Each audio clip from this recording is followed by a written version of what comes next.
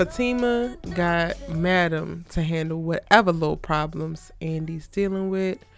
Danni is out on a date with the married man.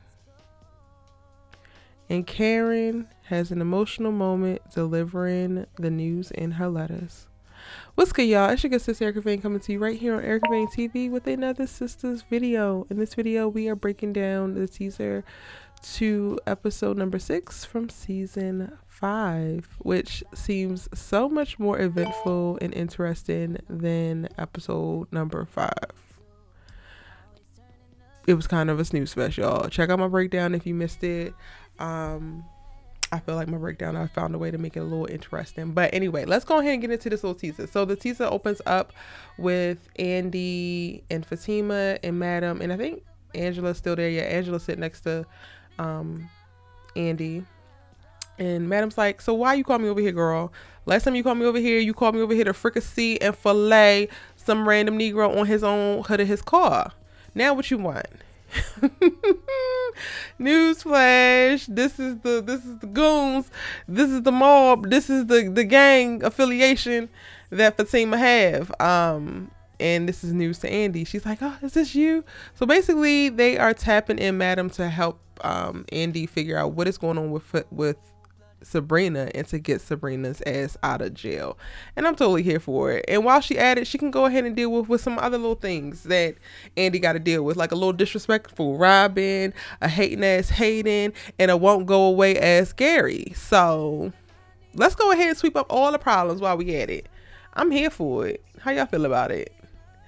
Um, from there, we go to a crying Karen and a crying Aaron, where she's saying basically, we only get a small clip, y'all. I cannot wait till she read these letters. Like, I am so looking forward to these scenes, right?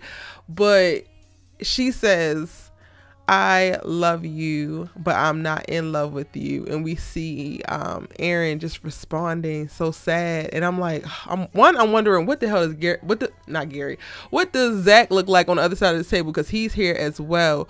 But then also, I personally feel like they always play the opposites when they give us these teasers and these trailers. So while it looks like she's breaking Aaron's heart, I feel like there's still so much more that she's going to say.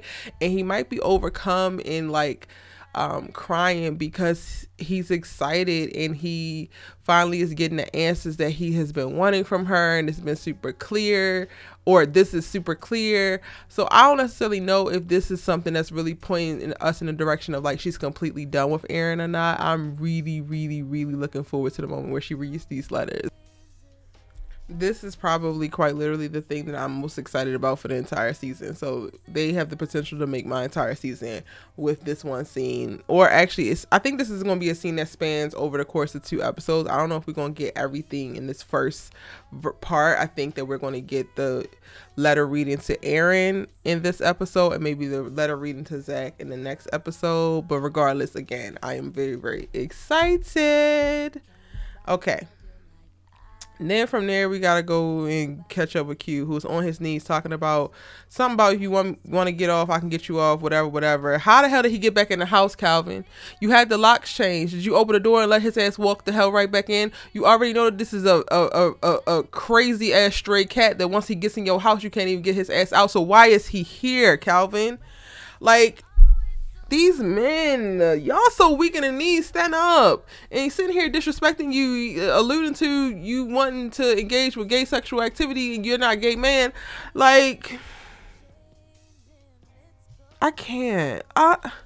I am so over Q and anything that Tyler Perry wants to have him do. Like Tyler Perry, we don't care, bro. We really don't care. If Maurice about to sit his ass in jail and right and Calvin about to just cry about letting Q back in the house after he got the locks changed, then they could do that all off camera. We do not need to see it because it's the most boring thing to watch that nobody even is invested in, and I'm over it. Let me know if y'all invested in the comment section down below because, child, I'm moving on. Surprise, surprise. The next scene from there is Paris.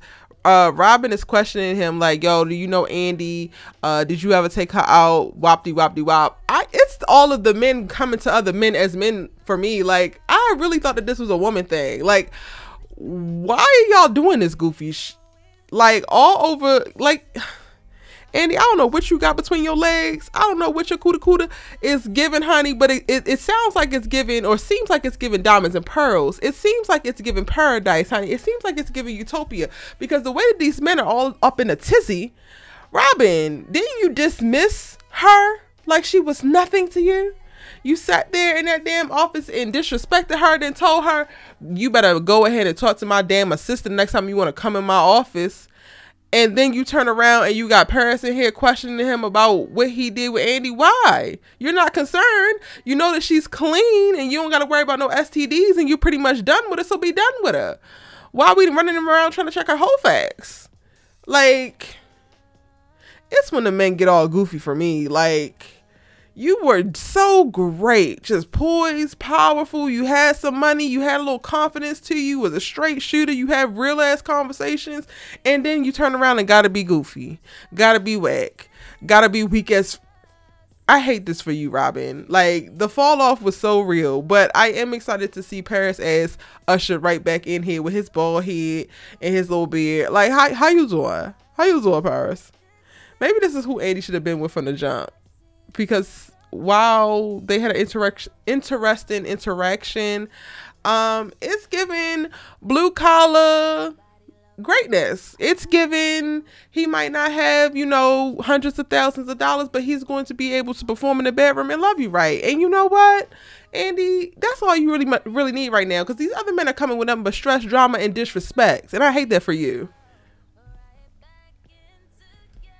and then the last part is Danni on this damn date with the married dude who was telling her to reach in his pocket and all this other kind of stuff. Girl. Danni, are you that lonely? Do you want to scratch this itch that bad, honey? You don't know this man, honey. That's all I got to say because I'm not looking forward to her whole little shenanigans with Jonah. And then he's supposed to get real sexually aggressive with her at some point throughout the course of this season, and it's going to be a problem. So I'm really trying hard not to say, Danni, you walked into this because I'm not trying to blame the victim, but then also Andi, I mean Danni, go sit your ass down and focus, honey. Just go sit your ass down and focus. Allow yourself to process and heal from the ridiculousness that was Preston. Pick up a book and stop picking up this weed pen. Maybe find a different job because you don't like this one and just try to find some happiness, honey, because it's not at this bar, it's not across from this man, it's not at the bottom of these bottles. Like, it's just not where you're currently looking. So you need to look somewhere else. Damn. And yeah, y'all, that is my thought, or those are my thoughts for the preview for episode number six of season five. I'm most most looking forward to, as I mentioned, the conversation with Karen, Zac, and Aaron as well as Paris popping back up, and then of course Madam. We love a good All the Queens Men crossover, and Madam is a is a force to be reckoned with, and I cannot wait to see what energy she brings to the Sistas universe. Now it's your turn. Did you check out the trailer? And if you did, let me know what your thoughts, theories, and predictions are in the comment section down below. Let's go ahead and discuss who's your favorite sister, what's your favorite storyline. Tell me all that and more in the comment section. I'm your good sis, you let it talk TV with, and I'm gonna see you in the next one. Bye.